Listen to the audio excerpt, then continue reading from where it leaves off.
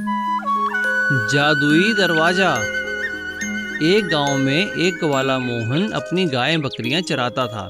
एक दिन जब वो पास के मैदान में ही अपनी गाय चरा रहा था, तब उसे एक लावारिस गाय घूमती हुई मिली। उसकी हालत देख लगता था कि वो भटक गई है। अरे, इस गाय को तो पहले कभी नहीं देखा।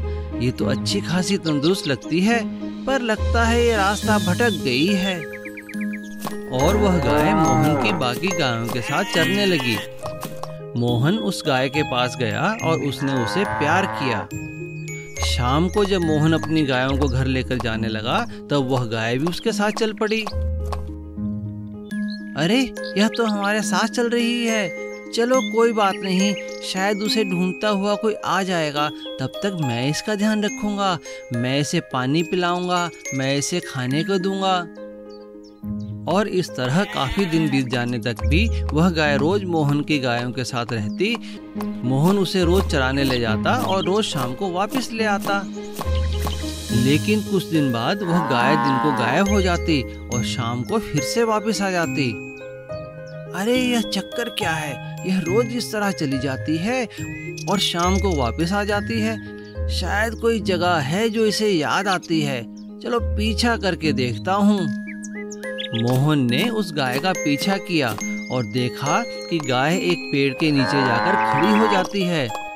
वहाँ एक सोने का दरवाज़ा है। दरवाज़ा खुलते ही गाय उसके अंदर चली जाती है। मोहन भी उसके पीछे पीछे जाता है। अंदर का नज़ारा देख मोहन हैरान हो जाता है। वहाँ एक बगीचा था। यहाँ पे सब कुछ सोने का था। पेड़ सोने के, पत्ते सोने के, फूल सोने के। थोड़ी आगे जाकर गाय वापस मोहन की तरफ़ मुड़ के कहती है, मोहन, तुम बहुत अच्छे हो। मुझे तुम्हारा व्यवहार बहुत अच्छा लगा। तुमने मेरे साथ बहुत अच्छा व्यवहार किया। तुमने मेरा ध्यान रखा, पर ये ही मेरा घर है। यहाँ सब सोने का है। जितना सोना तुम्हें चाहिए, तुम ले जाओ। मोहन बहुत खुश हुआ और वहाँ से थोड़ा सा सोना लेकर चला गया और उसने गाय का धन्यवाद किया। सीख, अच्छे व्यवहार का फल हमेशा अच्छा ही मिलता है। एक गाँव में राजन नाम का एक आदमी अपने बेटे चिंटू के साथ रहता था। राजन पढ़ा लिखा नहीं था, जिस वजह से उसे कहीं अच्छी नौकरी नहीं मिली थी। राजन गन्ने का रस बेचकर अपने परिवार की गुजर बसर किया करता था। लेकिन वो अपने बेटे चिंटू को अच्छी शिक्षा देना चाहता था। इसीलिए उसने गाँव के पास के स्कूल में अपने बेटे चिंटू की एडमिशन करा रखी थी। चिंटू बड़े ही लगन से स्कूल में पढ़ाई किया करता था और छुट्टी होने पर वो अपने पिता के साथ गन्ने का रस बेचने में उनकी मदद करता था। एक दिन जब चिंटू स्कूल से वापस घर आ रहा था तो उसने देखा कि स्कूल से घर जाने वाला रास्ता बंद हो गया था क्योंकि वहाँ पर एक बहुत बड़ा पेड़ आकर गिर चुका था। इसीलिए उसे अब जंगल के रास्ते से जाना पड़ रहा था। ओहो अब तो बाँस के जंगल वाले रास्ते से जाना पड़ेगा। लेकिन चिंटू जब बाँस का जंगल पार करके शहर की ओर पहुँचा तो उसने वहाँ पर एक आइसक्रीम के ठेले पर कुछ बच्चों को आइसक्रीम खाते हुए देखा। चिंटू को आइसक्रीम खाने का बहुत मन किया।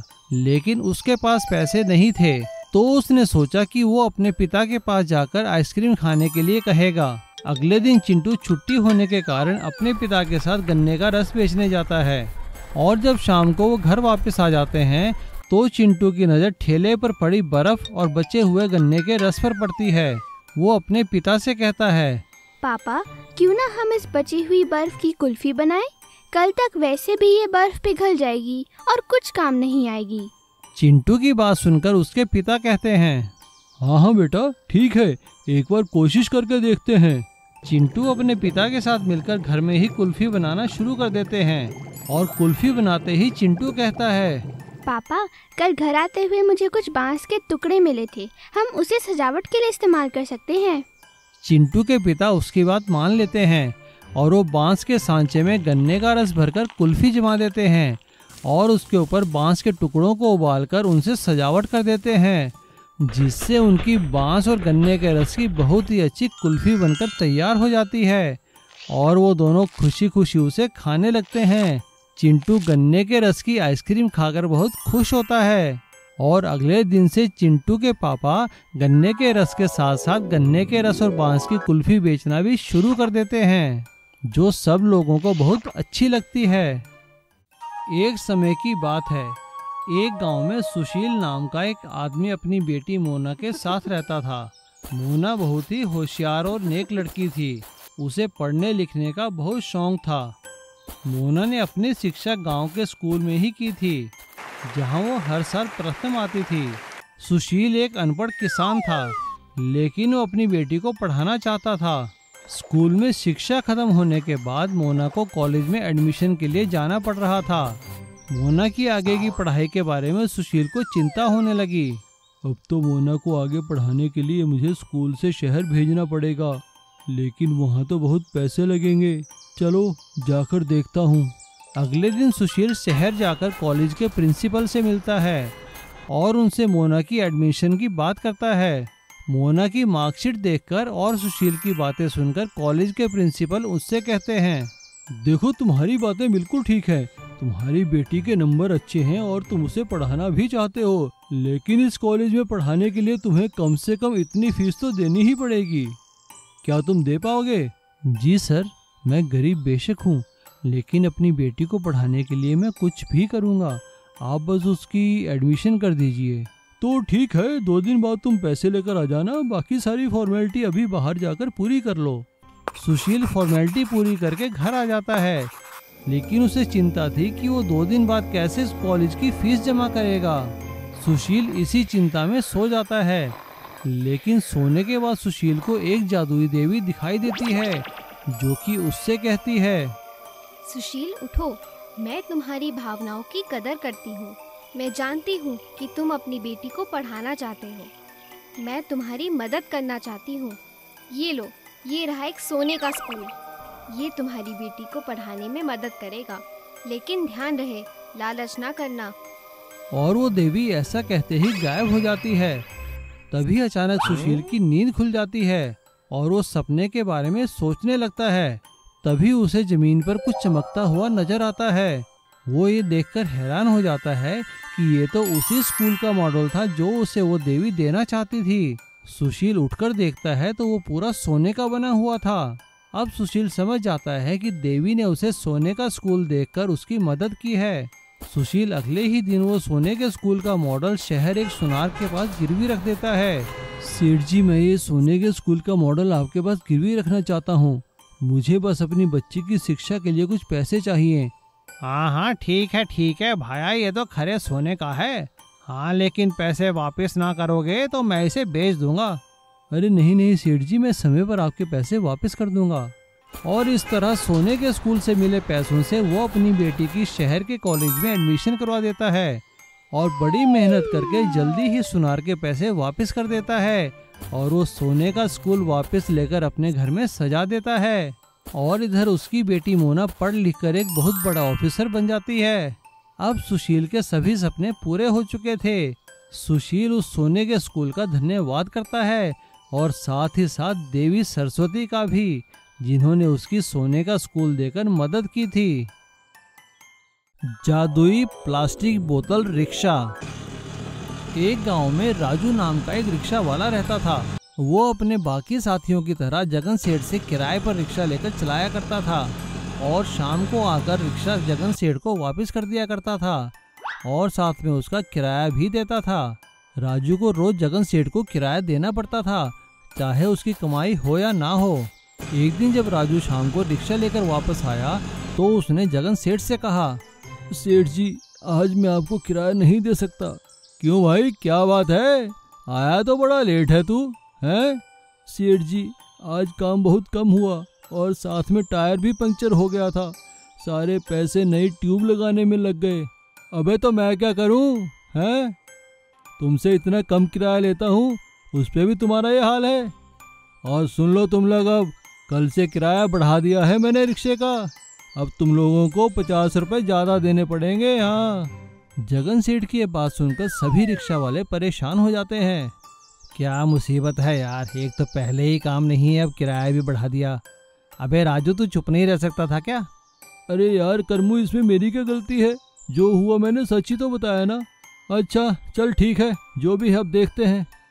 करमू और राजू बड़े परेशान होकर अपने घर की ओर चल पड़े। तभी सामने से उनका दोस्त चमन आ गया। चमन कूड़ा बीनने का काम करता था। चमन ने उनसे पूछा अरे क्या हुआ भाई? कहाँ जा रही है जोड़ी बड़ी उदास? सी हैं? राजू और करमू ने चमन को सारी बात बताई।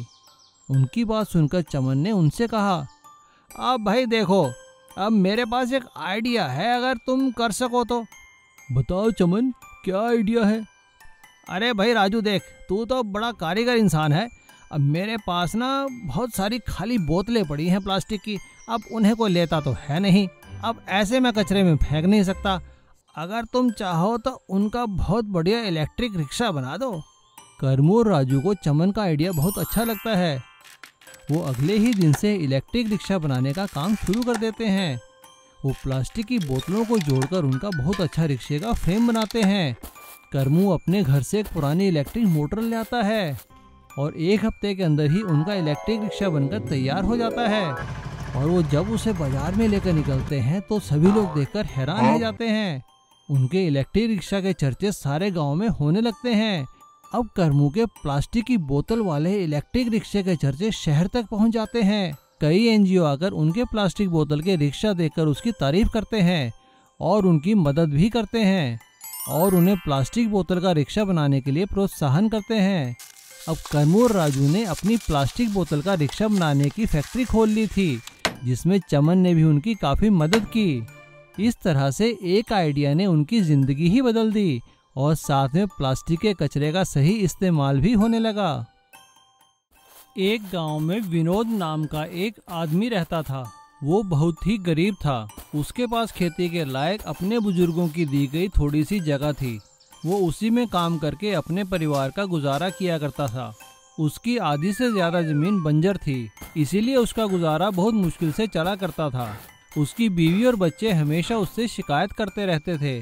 अजी ऐसे कैसे गुजारा चलेगा? बच्चे बड़े हो रहे हैं। कोशिश करके तो देखिए। हो सकता है बंजर ज़मीन पर भी अनाज उग जाए। तुम ठीक कह रही हो रमा। मैं कल ही वहाँ पर कोशिश करता हूँ। शायद हमारी किस्मत ही खुल जाए। अगले ही दिन से विनोद ने अपनी बंजर ज़मीन पर काम करना शुरू कर दिया। वो रोज खुदाई के औज़ार ले जाकर अपनी बंजर ज़मीन को फोड़ने लगा। और वहाँ से पत्थर आदि साफ़ करने लगा। उसकी यह हरकत देखकर गाँव के सभी लोग उसका मज़ाक उड़ाने लगे। एक दिन जब गाँव के जमींदार वहाँ से गुजरे तो उन्होंने भी उसका मज़ाक उड़ाते हुए विनोद से कहा, अरे ओ विनोद वाह ये क्या कर रहा है तू? अबे, इस धरती पे कुछ नहीं उगने वाला। इसीलिए तो हमारे बुज़ुर्गों ने ये जगह तुम्हारे बुज़ुर्गों को दे दी थी। काहे अपना दिमाग खराब कर रहा है? आप बात तो ठीक कह रहे हैं, जमींदार साहब। लेकिन शायद क्या पता यहाँ पर खेती हो जाए।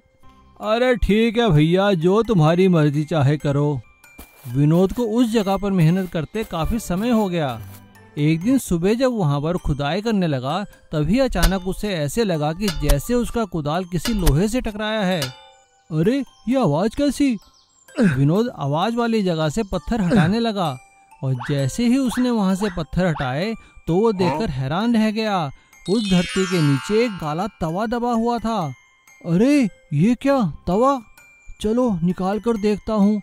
खाना पकाने के ही काम आएगा। विनोद ने वहाँ से उस तवे को निकाला और घर आकर अपनी बीवी रमा को सारी बात बताई। ये हमारे बुज़ुर्गों की निशानी है। मैं तो इसे संभाल कर रखूँगा। और ऐसा कहकर जैसे ही विनोद उस तवे को एक साइड में रखने लगा, तभी तवे से आवाज़ आई। विनोद? अरे ये तवा तो बोलता है। हाँ विनोद, मैं एक जादुई तवा हूँ। अगर तुम मुझ पर अनाज का एक दाना रखोगे तो उस दाने की लाखों रोटियाँ बन जाएँगी। ऐसा सुनते ही विनोद ने उस तवे को अपने आग जलाकर उसके ऊपर रख दिया और थोड़ा सा आटा लाकर उसके ऊपर रखा। देखते ही देखते वहाँ रोटियों का ढेर लग गया। ये देखकर विनोद और उसकी बीवी हैरान रह गए। अब उन्होंने सब्ज़ियाँ काटकर उस पर रखी तो वहाँ पर पकी हुई सब्जियों का ढेर लग गया। विनोद और उसके परिवार ने खूब सारी रोटियाँ खाई और बाकी रोटियाँ पूरे गाँव वालों को खिला दी। अब उनके दिन बदल चुके थे। विनोद ने गाँव के बाहर सड़क पर एक ढाबा खोल दिया और उस जादुई तवे की बदौलत सबको पेट भरकर खाना खिलाने लगा। और वो खाने के बदले किसी से पैसे नहीं माँगता था जो जिसके मन में आए वो ले लेता था। क्योंकि जादुई तवे की यही शर्त थी कि वो बिना स्वार्थ के उसका इस्तेमाल करेगा।